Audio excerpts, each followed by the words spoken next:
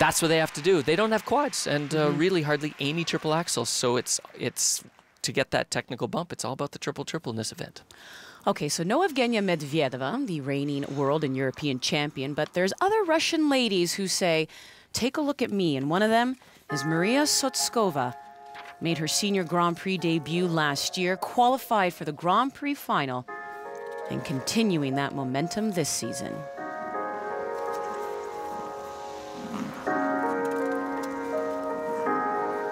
I know Caroline is thinking she looks like she would be a good ice dancer. Here's her version of the triple triple, and it's a Lutz toe.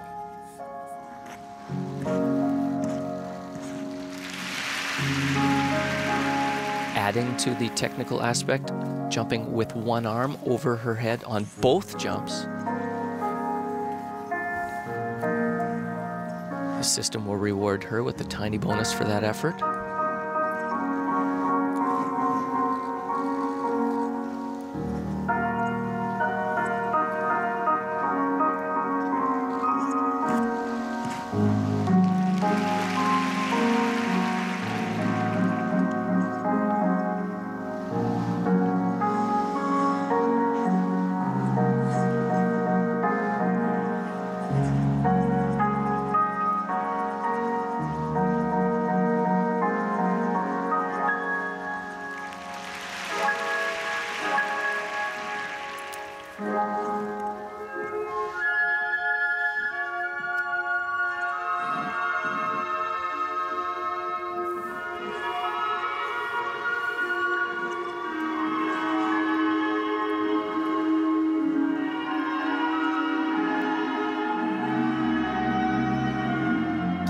Doing a pretty good job of skating to Clair de Lune. Beautiful piece of music. You have to absolutely trust every edge and be so patient to make this music sing. She skates it very well, but to me, that this is almost where her downfall comes. She doesn't live in the music. When you've watched Carolina first and then you watch Maria, you can appreciate the technical skating, but the absolute commitment to performance and the artistry for me is not quite there. She looks like she's learned it very well, mm-hmm. No, but it's not a good job. as natural. I would only choose the best skater for this piece of music. Exactly.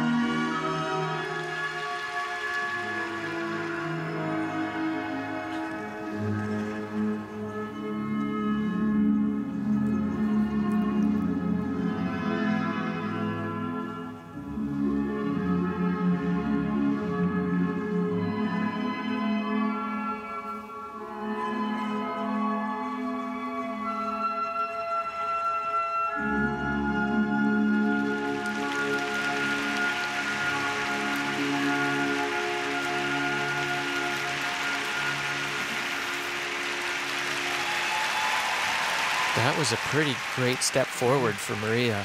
Yeah. Just a beautiful skate. I was going to say, so pretty, so pretty to watch. Maria Sotskova, the 17 year old from Russia, second year on the senior Grand Prix circuit. Second time she has qualified for the Grand Prix final. I'd like to see her skate that in two years. Even better. We will have her marks when we return here in Japan for the Grand Prix final. And leading after the short program, there is the Canadian, the world silver medalist, Kaitlyn Osmond. She qualified for the Grand Prix final last year, becoming the first Canadian woman to do so since 2009. But it's been since 2004 that a Canadian woman stood on the Grand Prix final podium. Can Kaitlyn Osmond do it?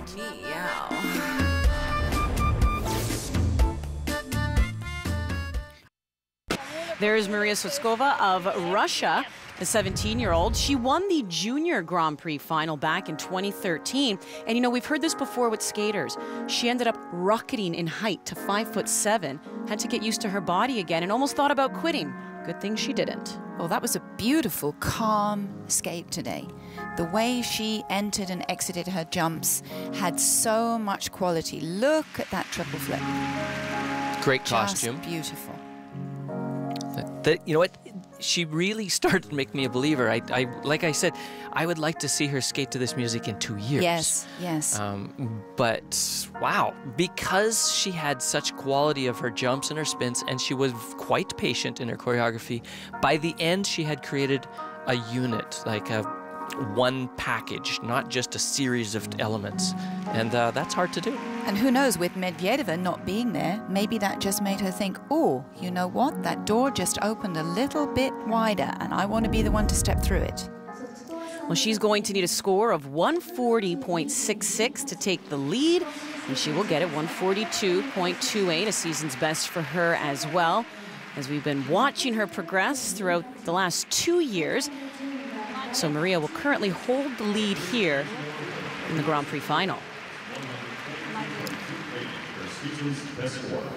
And it's pretty amazing, the Russian ladies. And I know we've been discussing the recent IOC news with the banning of Russia from 2018 games. However, letting athletes um, Individually. have, yeah, individually Yes. have the ability to compete, and it would be so wonderful because especially the young women on the Russian side have been fantastic.